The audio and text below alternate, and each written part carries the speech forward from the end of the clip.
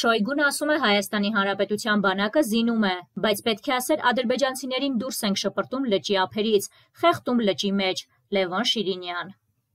Հայ-ադրբեջանական հակամարտության ներկա փուլի Հայաստանի դաշնակիցների եւ Հայաստանի ներքին խնդիրների մասին զրուցել ենք քաղաքագետ Լևոն Շիրինյանի հետ։ Պարոն Շիրինյան, կառավարության այսօրվա նիստին վարչապետ Նիկոլ Փաշինյանն ասել է, որ սահմանին անհրաժեշտ է մոնիթորինգային առաքելություն եւ մեջբերում եմ Եթե ՀԱՊԿ-ի համար դա ընդունելի չէ, այլ ընտրանքը մնում է ԵԱՀԿ ՄԽ համանախագահության դիտորդական առաքելությունը։ Ինչ է սա նշանակում եւ արդյոք այստեղ կա արտաքին քաղաքական կուրսի փոփոխություն։ Արտաքին քաղաքականության կուրսի փոփոխություն դա չի ասի, այլ Հայաստանի շուրջ ուժերի տեղաբաշխվածության բարեկամներ, թշնամիներ, դաշնակից ոչ դաշնակից հարաբերությունների մերկացումն է։ Պարզ է, որ Հայաստանն այս ճանապարհը պիտի անցներ, որովհետև ՀԱՊԿ կառույցի մեջ է։ Եթե պատրանքներ եղել են, գուցե իմ մոտ էլ են եղել ստորագրման օրերին, որ ինչ որ մի կառույց է առաջանում, չէ, որը համանմանության պատկերի մեջ ՆԱՏՕ-ի նման է, բայց հետո պարզվեց, որ ռուսական պաշտպանական կառույցը բլեֆ է, սուտ է, կեղծ է։ Նախկին անկլավների մասին հարցը պարբերաբար գալիս է քննարկումների դաշտ, ում է ձեռնտու, որ թեման գալիս է դաշտ։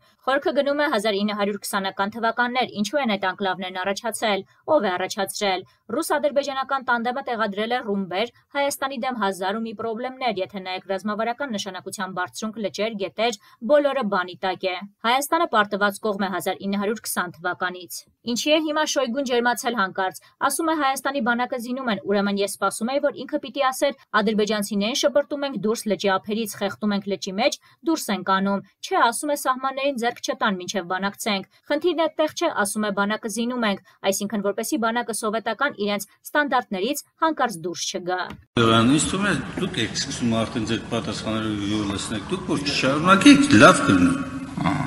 Հիմա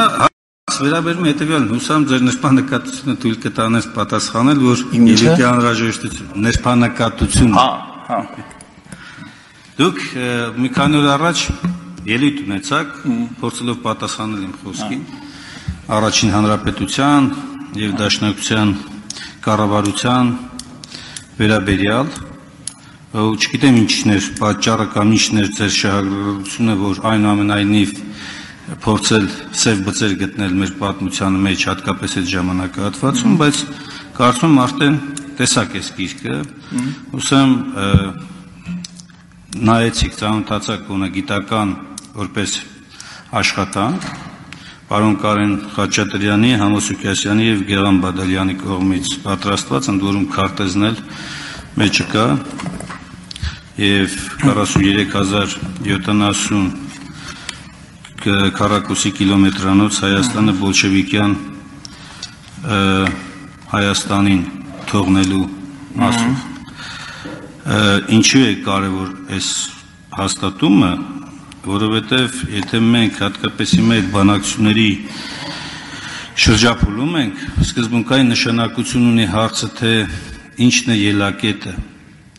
եւ ինչ պատմական իրողությունների վրա են կառուցելու մեր հետագա հարաբերությունները, որպեսզի լինենք ավելի պինդ, ավելի ամուր,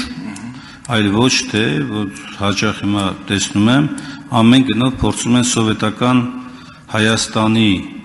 տարածքը ներկայացնել ընդ որում անդադ կրճատված տարածքները ներկայացնել թե իբր սա Հայաստանի պետական տարածքներն է Մամինասյան, ես առաջին հանրապետության պատմությունը շատ ու շատ դաշնակցականներից ավելի լավ գիտեմ։ Սա մեկ։ Ձեր ցույց տված գրքում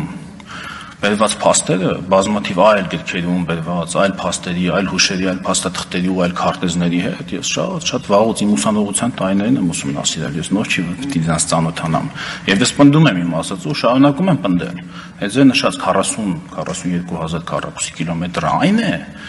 ինչ դաշնակցական կառավարությունը համաձայնեցրել է ռուսական կառավարության հետ, որ պիտի մնար, պիտի մնար ըստ համաձայնության, սակայն փաստացի հողի վրա ոչ 42, ոչ էլ նույնիսկ 32 1040 քառակուսի կիլոմետր հող, այլևս չկար։ Այդտեղ նշված են հողեր Արաքսից մի 10-12 կիլոմետր արևմուտք, Նախիջևան, Սյունիքից մի 10 կիլոմետր արևելք, որոնք մեր վերահսկողության տակ չէին արդեն այդ պահին Հիմա ասեմ ինչ դաշնակցականների ապիկալ կառավարման շնորհիվ ասեմ տենց, ոնց որ դուք եք գալիս տեղից, ասում քաղաքական գնահատական է։ Հիմա ինչ վեր կենամ, ասեմ Համո Օհանջանյանին, ասեմ հողատու, ասեմ վարչապետ Համո Օհանջանյանը հողատու է, հող է հանձնել, կարս է հանձնել Արդահան ու Կաղզվան ու Օլթի ու ու էլ ինչա ասեմ։ Ասեմ, ես դες չեմ ասի, որտեղ ես չեմ կարծում, որ ինքը հող է հանձնել։ Ես կարծում եմ, որ ինքը պայքարել է մինչև վերջ, որպես հայրենասեր մարդ, թուրքական ագրեսիայի դեմ, պայքարել է այնքան, ինչքան կարացել է ու պահել է այնքան, ինչքան այդ պահին մեր առաջին հանրապետության հիմնադիրներին հաջողվել է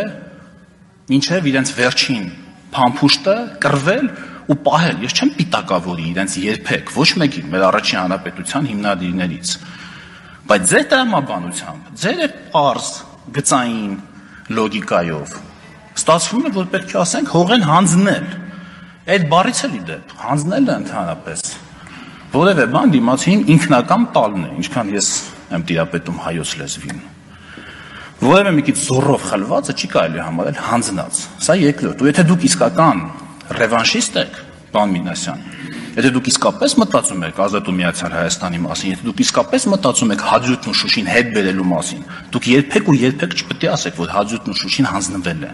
պետք է ասեք կորցրել ենք, որտեվ հանձնածը հետ չես բերի, կորցածը հետ կբերես։ Շատ մեծ իրավական ու քաղաքական ու փիլիսոփայական տարբերություն է ստեղ կա, որը դուք որպես ռևանշիստ ուժ, եթե այդպես լինեք ձեզ համարում, պետք է առաջինը արկել էիք, ասեիք այդ բառը չօգտագործեք, մի փակեք մեր հետ բերելու ճանապարհը։ Արձագանք Փաստորեն ոչ միայն նրբանկատ չեք, բավական սանձարցակ հայտարարություններ եք անում, պարոն Եղան։ Հայտարարություններ, որով իբր փորձում եք ներկայացնել, թե իբր դուք գնահատական չեք տալիս, բայց իրական գնահատական տալիս եք։ Դուք ասում եք չեմ ուզում պիտակավորեմ, բայց հենց պիտակավորում եք ձեր իսկ խոսքերով չպիտակավորը այդպեսի բան չի անում։ Դուք ուսումնասիրել եք միջազգային դիվանագիտություն, բայց ցավոք այդ կանոնի նրբությունը հիմա կիրառեցիք ուղիղ հակառակ իմաստով։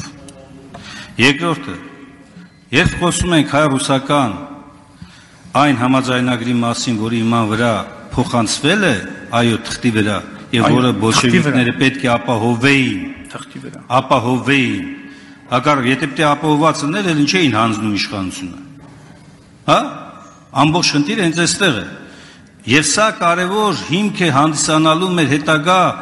բանակցությունների համար Ադրբեջանի հետ, Թուրքիայի հետ։ Ասածը սա է։ Պարոն Մինասյան, հավանաբար դուք համարցակի նկատի ունեք, այլապես ես դի խնդրեմ, որ կոռեկտության կոչ անեմ, որ մեր գործընկերների հետ ճիշտ բառապաշար օգտագործենք։ Պարոն Եղոյան, խնդրում։ Պարոն Մինասյան, ամենայն անկեղծությամբ եմ ասում, ես չեմ համարում, որ մեր առաջին հանրապետության հիմնադիր հայրերը վարչապետ Համո Հանջանյանը Ալեքսանդրապոլի պայմանագիրը ստորագրած, որոնք ոմանք կարող են անվանել Տիկին Խամոյան կապիտուլյացիոն ակտ, Ալեքսանդր Խատիսյանը, ես չեմ համարում, որ իրենք հողատուներ են, հող ես իսկապես չեմ համարում, բայց ասում եթե ձեր տրամաբանությամբ շարժվեմ, եթե ձեր տրամաբանությամբ, պարոն Սաղաթելյանի տրամաբանությամբ շարժվեմ, կարամ ասեմ, եթե քաղաքական անհրաժեշտությունը լինի այս ամբիոնից ասելու, կարամ, բայց ես որպես պատմաբան ու որպես քաղաքական գործիչ, այդպես չեմ համարում։ Սա մեկ։ Երկրորդը, դուք ինձ ստիպում եք, որ լավ այդ մասին չասեմ, որովհետև դա այս ամբիոնից ասելու չի, որովհետև մեզ մենակ Հայաստանում չի որ լսում են։ Այդ երկրորդ մասով առանձին։ Շնորհակալություն։ Հաջորդ հարց